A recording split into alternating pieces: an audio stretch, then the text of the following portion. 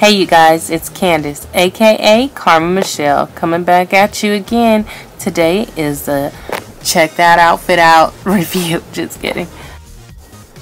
No, really guys though. Today's the outfit of the day video. I just wanted you to check out my outfit, my hair, my makeup.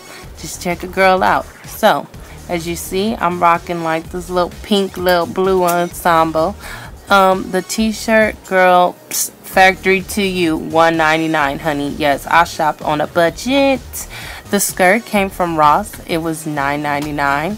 My purse that I have is from um, Charlie. It was $30. Those earrings, you check that mismatch going on? Yes, Lost One made the best of it.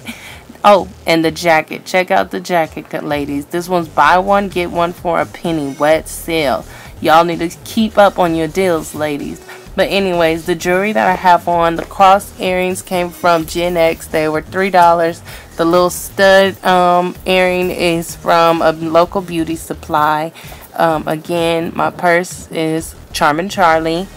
And um, my hair, you know, Indian, as always. Makeup, I'm not really good at makeup like that. So, you know, I try, do what I can. But my lipstick is just a lip liner a dollar lip liner ladies shop wise local beauty supply and I use all drugstore products and I have no problems no breakouts so yeah oh and my little necklace uh, that was just a chain I looped and made it look like that but thanks for checking out this video bye guys love y'all too cute